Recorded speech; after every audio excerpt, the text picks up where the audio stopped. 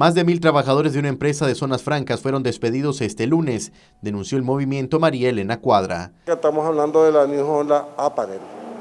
Vos sabés, una, una empresa textil vestuario donde en estos momentos están procediendo a liquidar mil, entre 1.200 y 1.300 trabajadores. Ya están prácticamente liquidados esta mañana. Esa es la primera noticia que les, les anunciaron en cuanto los trabajadores llegaron.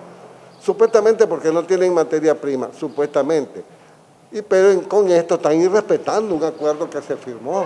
Un acuerdo que firmaron los empresarios de la zona franca, que firmaron el gobierno con los sindicatos del COSET. Entonces, ¿qué pasa? El convenio dice que son suspensiones de trabajo por falta de materia prima o, capital, dicen ellos también.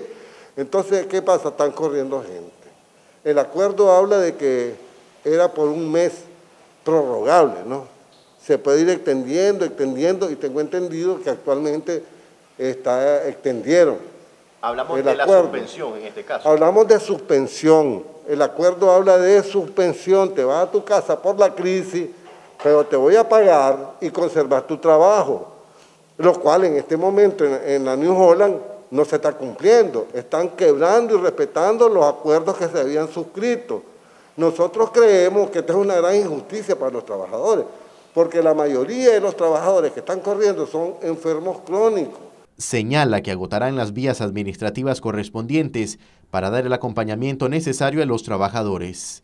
Puede ser una demanda colectiva. Nosotros vamos a ir hasta las últimas consecuencias para que la New Holland se haga responsable o los indemniza como debe ser, muy especial, porque acuérdate que son enfermos crónicos, y todas sus prestaciones de ley. ¿Entendés? Porque quieren correr a los trabajadores, porque al parecer la New Holland está operando más efectivamente en Honduras.